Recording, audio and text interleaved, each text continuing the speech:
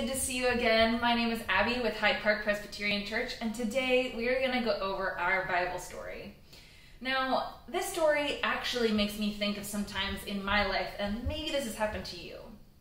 So, my question is Have you ever had a situation where maybe you didn't necessarily follow the rules or expectations of your parents? Maybe you didn't obey them when they asked you to do something?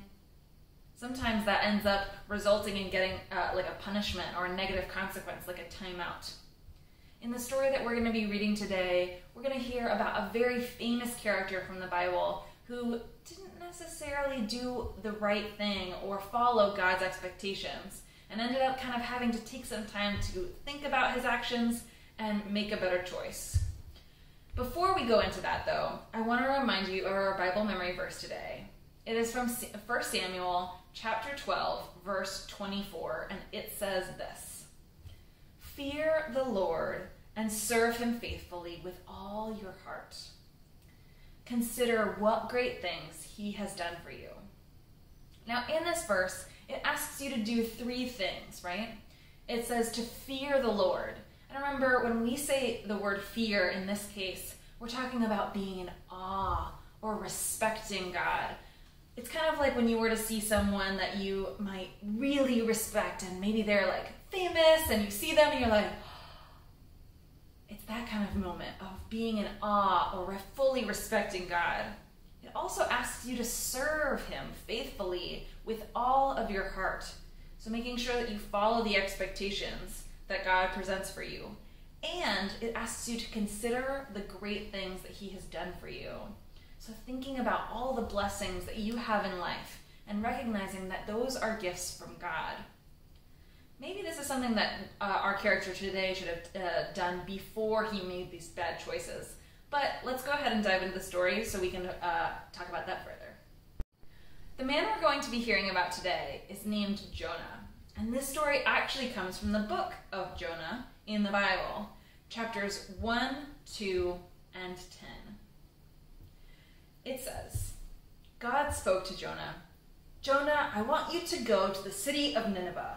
Preach to the people. They are doing evil things. That means they're sinning and not doing what God asked them to do. After hearing God's instructions, Jonah left, but he didn't go to Nineveh. Jonah tried to run away from God. He got to a ship headed for Tarshish, away from Nineveh. Jonah disobeyed God. When the ship got out to sea, God sent a strong wind. The wind made such huge waves that the ship almost broke apart. Even the sailors were afraid as they felt the ship toss back and forth in the sea. They all began praying to their own gods. They threw everything they could over the side to make the ship lighter. Where was Jonah during all this? He was sound asleep the captain came and said, Get up and st- uh, start praying to your God. Maybe he will save us from this terrible storm. Jonah knew that God had sent the wind because Jonah had run away from him. The sailors on the ship said, What terrible things have you done? Where are you from? And what very powerful God do you serve? I serve the God of heaven, who made both the sea and the land, said Jonah. What can we do to make this stop the strong wind stop? asked the sailors. They knew the ship couldn't last much longer. If you throw me overboard, the sea will calm down, Jonah told the men. The sailors picked Jonah up and threw him overboard. Immediately, the sea began to calm. The Lord had a huge fish come and swallow Jonah. Inside the fish, Jonah prayed, God, I promise I will do what you ask. After three days and nights, God told the big fish to spit Jonah out onto dry land. God spoke to Jonah again Go to Nineveh and preach. This time, Jonah obeyed God and went immediately to Nineveh to preach God's word.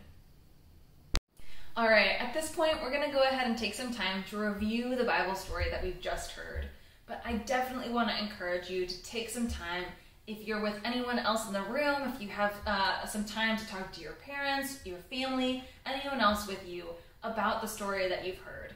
This is a great opportunity to talk about the Word of God that is told through us through the Bible. And this, um, along with many other stories, are incredibly important to talk and learn about more. So, my first question today that I want to ask you about our story is this What did God do, or what did God ask Jonah to do at the beginning of the story?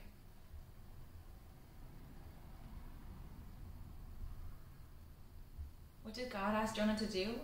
He asked him to go to Nineveh, a place where people were sinning and doing evil things. Uh, God asked Jonah to go there and preach to the people in hopes that they would eventually change their ways. Next, I want to ask you how did Jonah disobey God?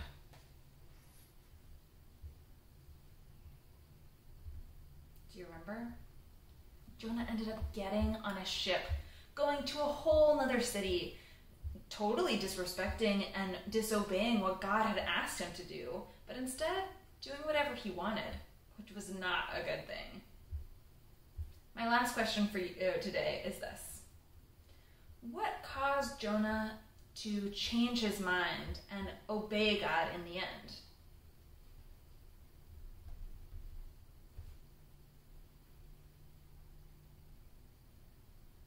What changed Jonah's mind? It was the fact that he saw the power that God had. He saw how God brought the winds over the boat and it uh, brought this huge storm. He saw the giant fish that ended up gobbling him up. And while he was in the belly of this giant fish, this all, all, like as big as a whale, he sits there and he prays to God and says, I will do whatever you ask it was in that moment that he was kind of in timeout himself, right? He took some time for three days to sit there and realize that what he did was not right. He had chosen to disobey God and he wanted to make things better. So he told God that he would do whatever God asked and he would obey him.